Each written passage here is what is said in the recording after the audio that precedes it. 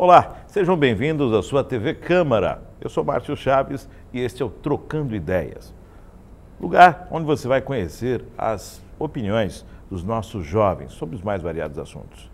Conosco hoje estão a Júlia Ferreira Barrada, de 19 anos, também o Gustavo Vale de Oliveira, de 19 anos, e o Wagner Souza Matos Júnior, também de 19 anos. Sejam bem-vindos à TV Câmara e ao Trocando Ideias. Vamos ser cavalheiros, né? Vou começar com a Júlia.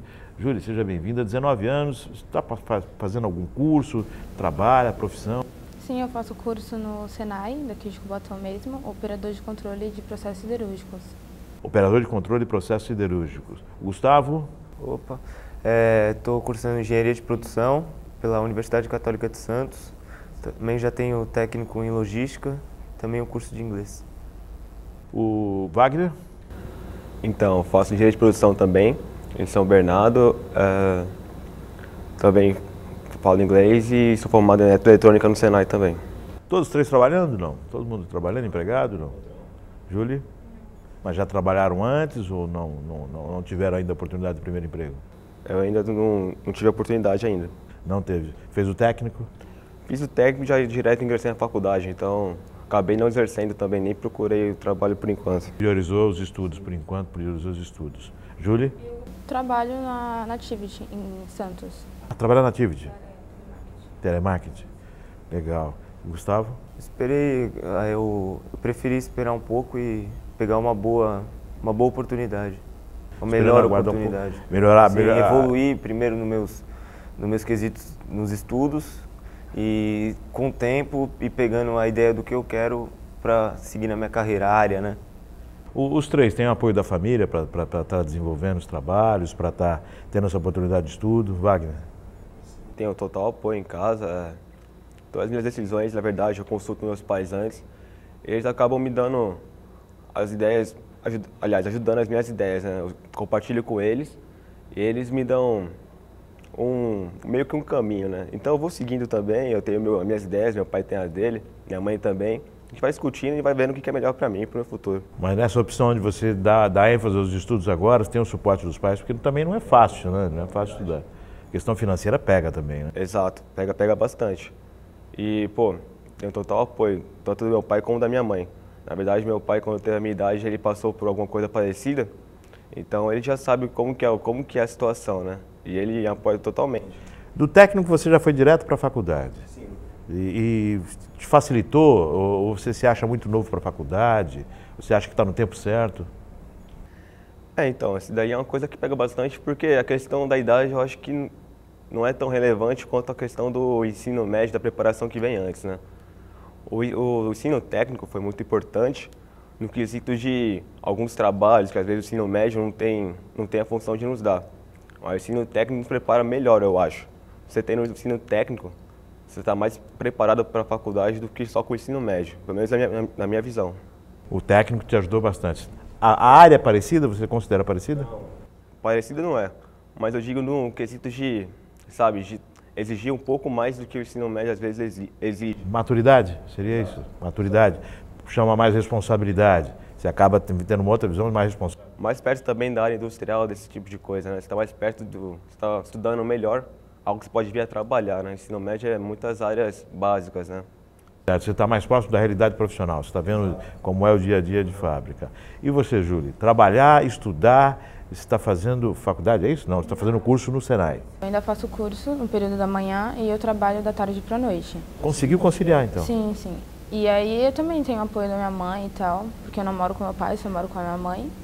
E ela me ajuda bastante na, na, na, correria e tal do dia a dia. Ela me ajuda bastante, me apoia também. Como é que é? Que você trabalha na Activity no, no horário de, de tarde? No horário da tarde e da noite. Tarde e noite. Aí logo cedo encarando o escola. Senai, isso. E aí é, é, a correria, né? Ela me ajuda bastante. Eu ainda não tenho em mente que fazer de faculdade, por isso eu ainda estou terminando ainda o curso. Mas mais para frente, se Deus quiser, ainda vou saber o que fazer. O que, que te levou para o curso? Porque hoje você está tá, tá trabalhando em uma área de atendimento ao, ao consumidor, ao, ao, cliente. Isso. E você está seguindo para um outro, uma outra área que é uma área industrial. Isso. Então, no caso, a área industrial seria pelo curso de caldeiraria que eu já fiz. Já foi? Fez o curso de caldeiraria? formada em caldeiraria. Mas já trabalhou com caldeiraria não? Não, não, ainda não. não. Também não tive oportunidade e acho que também não, não, não ia querer ter um, uma experiência assim em relação à caldeiraria. Mas em relação ao operador de processo, sim. Que é o que eu estou fazendo agora, que eu vou me formar agora no final do ano. O que faz o operador de processo? Seria a operação em máquinas, no caso da, da produção de aço. No caso, a Uzi Minas, que é ela que faz a... É o que chamava de instrument, instrumentistas, não é não, isso? Não, é outra, é outra. Seria o operador mesmo. A pessoa que fica operando as máquinas ali. Isso. Tanto Seria- painel quanto, quanto equipamento. é isso? Exatamente. O controle da produção. Exatamente. Tanto que nesse curso nosso a gente tem a parte teórica, que seria no Senai, e a parte profissional, que seria na Uzi Minas. E você tem esses dois. Está isso. fazendo a profissional também. Exatamente. Uma turma de quantos alunos? Seria uma turma de basicamente assim, entre 25 a 29 alunos. 5 a 21. A maioria homens ou mulheres? Homens. A gente também tem bastante mulheres. Assim, na minha sala tem seis, sete mulheres. Na sua No sala. máximo. É uma área nova para você? Você é desafio. Você começou com caldeiraria, quer dizer, já é algo É. diferente, né? É, uma área que realmente lá na área a gente pode ver que não tem tanta mulher. Mas as mulheres que tem, elas sabem é, fazer a parte do homem, entendeu? Lá na área que é uma área bem, bem rigorosa, uma área pesada. Mas é, a gente sabe bem se lidar com a situação, entendeu? Tem que ter a responsabilidade lá, porque a gente está trabalhando com aço, né? E tem vida de pessoas também em risco, então a gente tem que ter bastante responsabilidade. A sua e outras vidas A em risco. minha né? e outras. é. Sem dúvida. Essa questão da faculdade, você já terminou o ensino médio? Então, já terminei ensino médio. Por enquanto, ainda não tenho em mente o que fazer de faculdade. Eu não tenho realmente em mente. Mas eu ainda procuro, assim, até o final do ano, que eu quero começar, no caso, no começo do ano que vem, para poder estar pesquisando, né, uma, é, como eu posso dizer, Uma área feiras você... profissionais, isso, para me ver o que realmente eu quero fazer. A questão financeira em relação à faculdade te preocupa? Manter Olha, hoje em dia, eu creio que não, porque a gente tem muitas oportunidades, né, para estar, no caso, fazendo a faculdade é, tendo, conseguindo cursar. Tem o Enem, tem ProUni, então ajuda bastante. Em relação à parte financeira, sim, se fosse somente pagar a faculdade em si, eu acredito que me preocuparia sim. Você vai tentar controlar... é, é, Sim, mas tanto o depende. curso quanto o trabalho, vai tentar conciliar. E, é, depende do curso que eu queira fazer, entendeu? Como eu te falei, realmente ainda não sei o que fazer. Mas é, se for ver em relação à parte financeira, a gente tem outras oportunidades de estar tentando escapar da parte financeira, entendeu? Tentar ver se equaciona aí para continuar, que não é muito fácil. Gustavo, Acho que na questão da família, é, minha mãe, meu pai, minha, minha avó, toda a minha família, que são meus tios, sempre me deram muito um apoio, um conforto emocional, que eu acho que é o mais importante que vem da família, ele te guiar. Então, desde que eu, que eu disse que eu decidi, durante o ensino médio, fazer o técnico de logística e também, ao final, prestar o Enem com a intenção de cursar o curso de engenharia de produção, e aí, minha, mãe sempre, sempre, tive, sempre tive todo o apoio deles. Então, fui fazer a prova confiante, fiz a prova do Enem. Hoje, é, por, por bastante mérito meu, eu consegui uma bolsa 100% na Universidade Católica de Santos. Unicef, e hoje, 100%. isso. E hoje eu, eu me sinto satisfeito na condição que eu, que eu adquiri. E devo isso muito isso, da minha, muito isso à minha família. você na área técnica, você fez o curso de logística. Curso de logística, agora é você está seguindo para a engenharia da produção. Isso, os professores durante o curso falariam muito assim, que você tem, a partir do momento que você faz um curso de logística, que trabalha com transporte, gerenciamento de uma empresa, você tem a possibilidade de evoluir para engenharia de produção. Seria meio que um passo a mais para um, um, uma formação em logística. Então fiz isso, fui buscar essa engenharia de produção, me identifiquei e realmente o curso técnico me deu uma ótima base para o que eu estou vendo agora. Ele abriu minha cabeça. Vocês têm o apoio da família, todos vocês têm o apoio da família.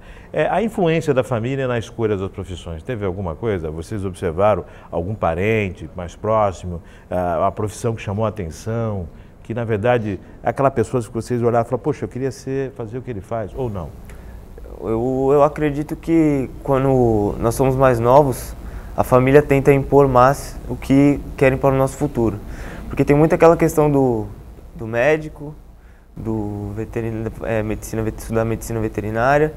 E conforme, é, no meu caso, na minha família, conforme eu fui crescendo, eles foram me dando a liberdade de eu poder decidir fazer as minhas escolha, né? escolhas, né? fazer as minhas escolhas e decidir o meu futuro. Então, assim, teve uma, teve uma pressão para. Teve toda uma expectativa em cima de mim, mas eu, eu acho que, que eu fiz a ótima escolha e eles também são muito satisfeitos com isso. Em que área seria essa expectativa? Vocês achavam que você seguiria qual a. Qual eles era a expectativa? Sempre, sempre, sempre disseram que eu ia ser um líder. Eu acredito que eu tenho isso dentro de mim. Eu acredito que eu vou ser um grande líder ainda.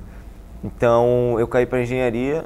Mas quanto, poder... quanto à área, não. Quanto à área, vocês ficaram à vontade. Sempre que isso, a expectativa isso, sim, sim, quanto a você se destacar total, e seguir. Total autonomia para poder conversar com eles e debater. E eles aceitaram. Você, você acredita, você está dentro daquilo que você esperava um dia ou que você imaginava quando criança está totalmente diferente? Olha, eu acho que eu tô, eu tô dentro dos meus planos, mas eu acho que ainda tem muito para crescer. Dentro dos seus planos? Dentro dos meus planos. E você, Wagner?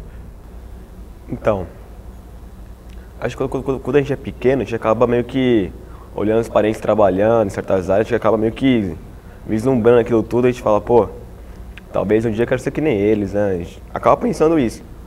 Mas às vezes para alguns, alguns jovens, acaba clareando um pouco mais cedo a área que você quer realmente trabalhar, vai furilando mais cedo para alguns. Eu acho que foi o nosso caso, a gente já meio que jovem, já tinha algum uma linha para seguir eu acabei indo para eletroeletrônica no Senai, meio que pela curiosidade, né? Pô, é uma área legal, vai que eu possa vir a curtir e exercer futuramente.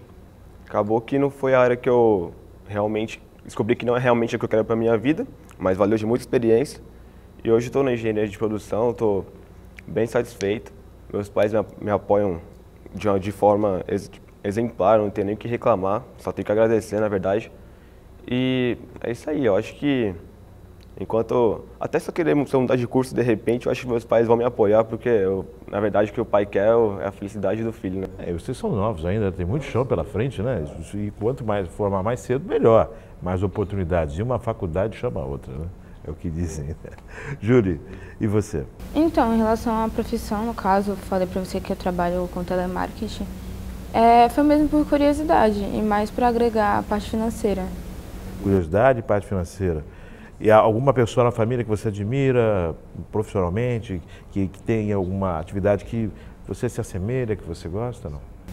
É, então, é, tem, no caso, tem sim, sempre tem. Quando a gente é criança, né, a gente vê as outras pessoas, é, no caso, parentes nossos, a gente vê que realmente a gente talvez queira ser igual, talvez não pela profissão, mas pela pessoa mesmo, no pessoal, pessoa com caráter e tal.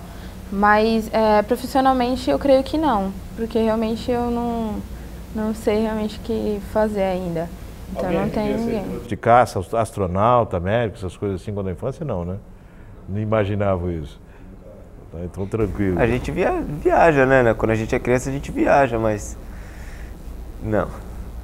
E a dificuldade que vocês sentem em relação à cobrança? Existe muita, muito. A cobrança muitas vezes do próprio jovem em acertar de primeira, em avançar. Vocês sentem esse peso, não? Eu acredito que sim. Eu, sou uma pessoa que me cobro muito.